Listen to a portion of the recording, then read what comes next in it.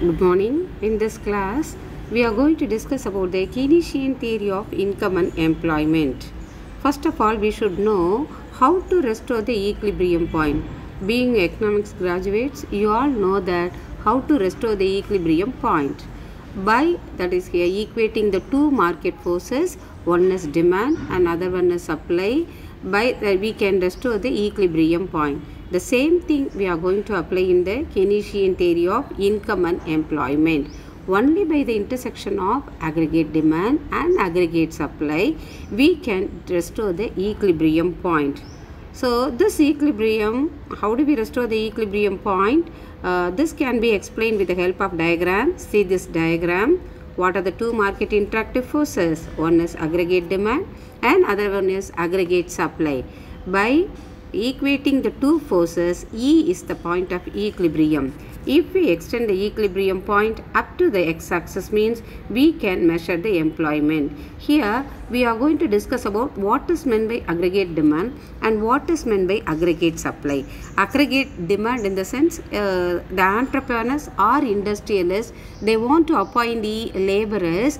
They will provide the employment opportunities. After getting the employment opportunities income will be generated. The income will be spent on what? Consumption of goods and services. This is called as what aggregate demand how do we that is here determine the aggregate supply. The entrepreneurs uh, with the help of employees they have produced certain level of output.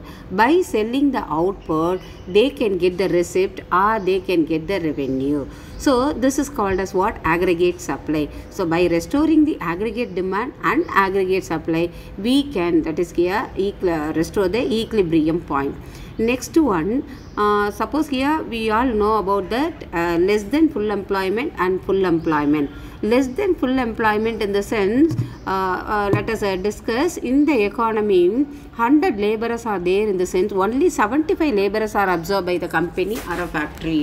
Uh, this is called as what? Less than full employment because we have a excess number that is 25 so by extending the number from 75 to 100 means we can attain the that is stage of what full employment that can be explained with the help of one diagram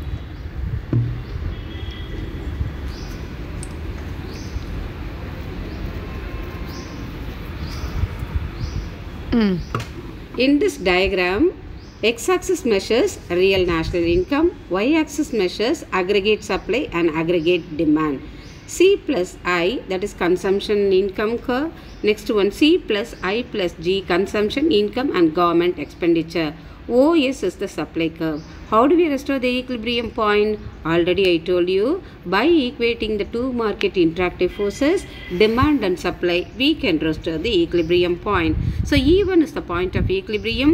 O Y1 is the equilibrium level of income. Next one already I told you what is meant by less than that is full employment and full employment. So 25 laborers will be excess in the economy no that uh, excess number will be absorbed by the entrepreneurs or industrialists in the sense the extra 25 employees are getting employment opportunities. Now the equilibrium point is extended from OY1 to OY2 that is the national level uh, the national income increases from OY1 to OY2 by introducing the government that is expenditure we can expand our level of national income from OY1 to OY2 this stage is known as what? Full employment. This is clearly explained by the Keynes when he explains the theory of income and employment Thank you for patient listening so far what you have observed about the Keynesian theory of income and employment.